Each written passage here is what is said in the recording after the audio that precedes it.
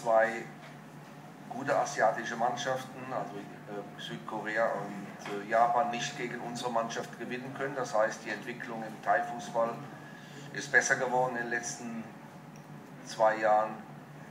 Äh, ich glaube, dass ähm, die vielen Gespräche, auch die vielen äh, äh, ja, Artikel, die immer erscheinen und immer wieder über Fußball gesprochen wird, dass das den Fußball geholfen hat.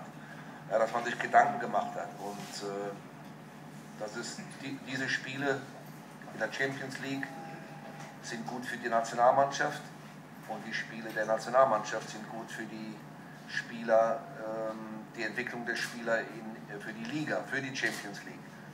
Wenn man weiß, dass wir so viele Länderspiele im Dezember hatten, dass die Spieler äh, sich entwickelt haben, dass sie ähm, raus aus ihrem Land kamen und haben gegen starke Mannschaften gespielt, gegen andere Schiedsrichter, die anders pfeifen.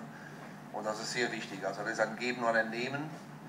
Und da bin ich sehr froh drum und ich hoffe, dass, das dass die Entwicklung so weitergeht.